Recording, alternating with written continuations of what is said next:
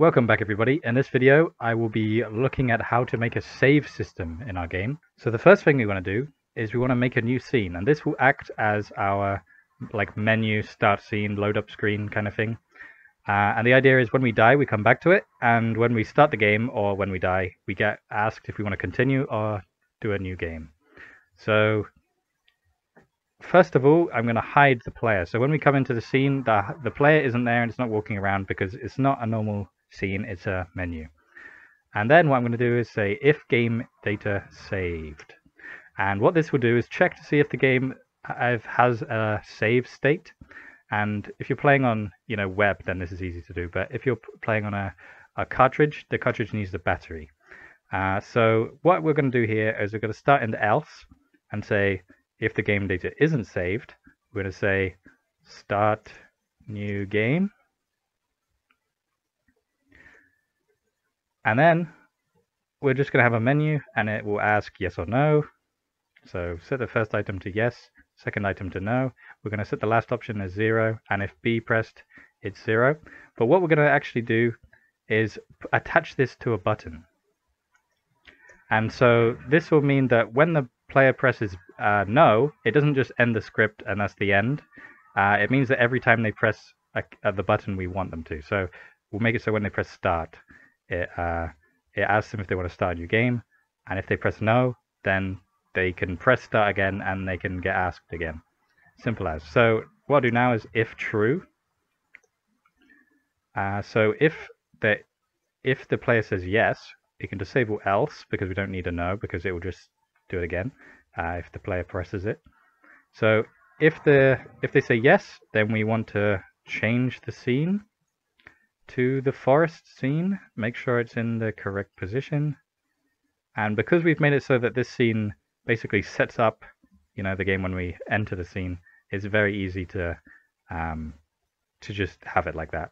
If we were to have it like a full game, like in Ticket Racing 2, I make it so there there's a lot of uh, variables that are set. And if we were to add, you know, for example, leveling up or something, um, then we might want to set them to level one. We might want to set their strength to a certain number rather than everything be zero like it would be uh, automatically. Uh, and we do that obviously once they've just before the change scene, but after they've said yes. Uh, so now we've said and start, uh, we can move on. To, like now we've said uh, that if they haven't got a save and they say yes, and if they say no, then we have something to, to happen. Uh, if the game data is saved, then we want to ask them, would you like to load your game? So load game, simple as, and then menu, and it will just say yes.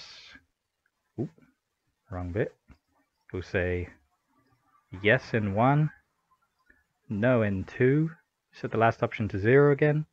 And again, I'm going to attach a button to this, uh, attach a script to button, uh, and I'm going to put it on start again. And load game, ask yes or no, and then if true, we can disable the else again, because uh, something else will happen once we've done that. So load game, and if they say yes, then we just load game data, and this will put them exactly where they saved, uh, which is amazing. This is fantastic because if we say we put the the uh, you know the save spot here, then the player will just spawn exactly like looking at the thing exactly where they left off. But we'll come back to the save points later in the video. Okay, so we've we've asked them, uh, you know, would you like to load game? And if they say no, then we should ask them, uh, would you like to you know, start a new game. So if we put copy here, we can paste this stuff uh, from from the uh, from the start new game straight after this uh, if true thing. Because if it does load, then it loads and we go in. Otherwise, uh, if there is, you know, if they say no, then we just continue and this this script then plays out. So then we want to set, just copy this and put it to here and now we have a save system that, that works. So how it works is we have a, va a variable thing saying, is it saved? Is the game saved? And if it is saved, when you press start, something happens, and if and otherwise, if you press start, something happens. So both of it is connected to the start button, uh, and they're separated by the if game data saved. So if there isn't the save game data, then we we ask them if you want to start a new game, and if there is a game's data saved, they either get asked to load the game or they get asked to start a new game. And that's extremely simple. Uh, and now what I'm going to do is add save spots. The save spots are almost even simpler. So first of all, I'm just going to add an actor. I'm just going to set it to the classic save point. Um, I'll animate it while it's stationary so it bobs around. And then what I'm going to do is just have on interact, it then it will ask the player, would you like to save the game? Actually, let's just say, would you like to save? Keep it simple. Would you like to save? And then the menu again. Just yes or no. Set the B and no to zero. And if true, then we save the game. But first of all, I'll, I'll add it in. I'll add um, save game. Uh, so what this will do is just instantly save it.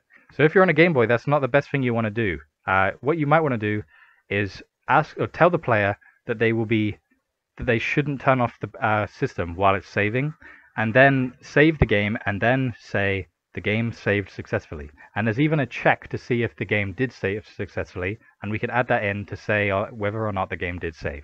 So that's exactly what I'm going to do now. I'm going to say, uh, do not turn off the system while saving.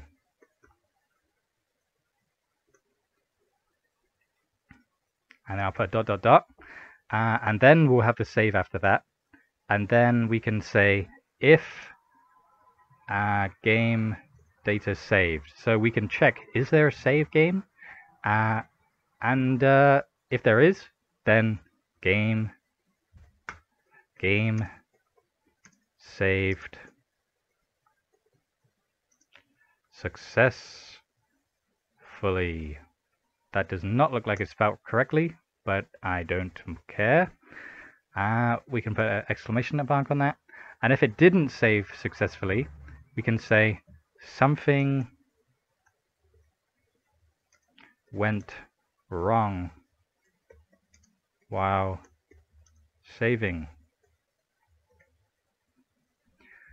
And there we have a simple save system that makes sure the player doesn't turn off their system while it's saved. Uh, that's just a, a, good thing to have in a game because it's just uh, making sure the player uh, uh like gets the feedback on whether or not it worked.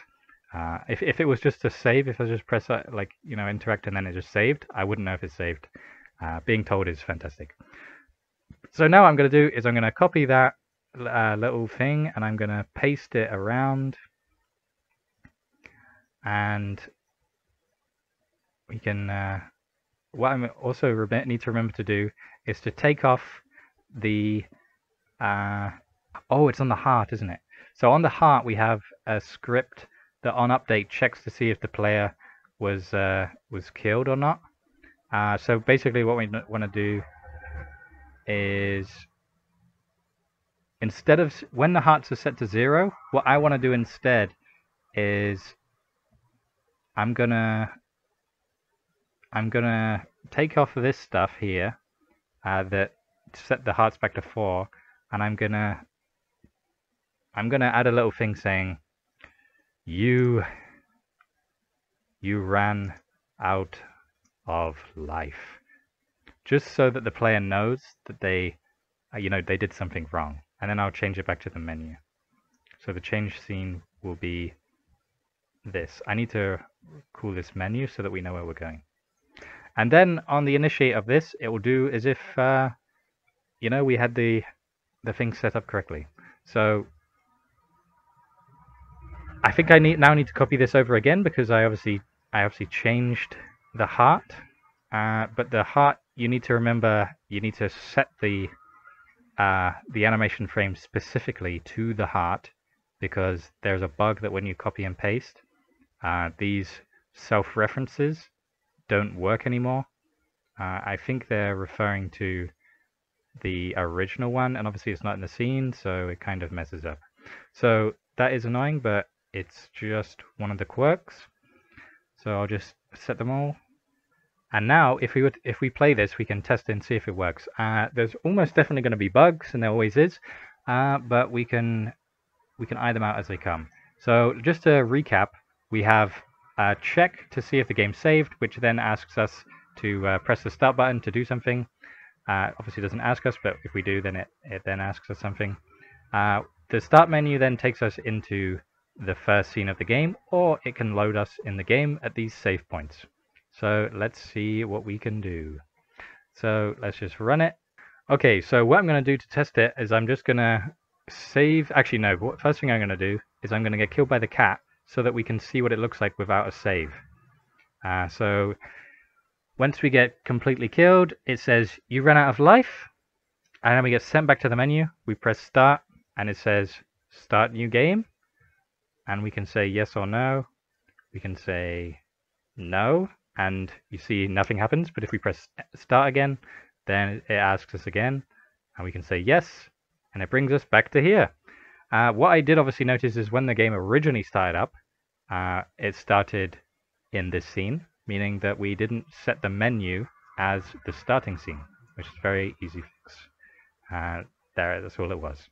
Uh, so if we go back in, we don't need to really rerun it to test it because it's just a tiny little fix. And now if I press save, would you like to save? Um, game saved successfully. We can go back through and see if it does the same thing. You run out of life. If I press start, load game, perfect, easy as that. Load game, we say no, start new game, no, and we're back to this, press start, load game, yes. And here we are at the save point. Uh, and you see the cat's still alive. But if I go back out and I save, I wonder if the cat will still be there. Let's see. Okay, so I've saved the game. The cat is gone. I'm going to move into the next level, and then we're gonna we're gonna die to the cats and see if it uh, puts us back there. So let's see. One, two, three, four, and there we go. You run out of life.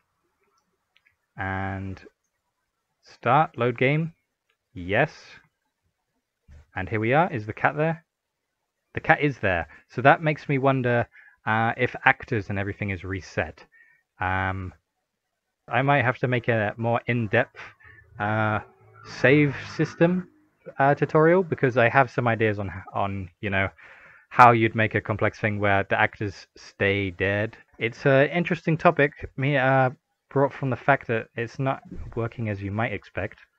Uh, but if we save here, then we can try again. But I think we know it works, guys, so I think I'll just leave it here. The idea of a tutorial system was brought up by one of my patrons. They'll be on screen right now. Um, thank you to them. And if there's any questions that this video brought up, please don't hesitate to ask in the in the comments. Um, like this video if you like this video. Subscribe if you haven't already. And I'll see you in the next video, guys. Thanks for watching.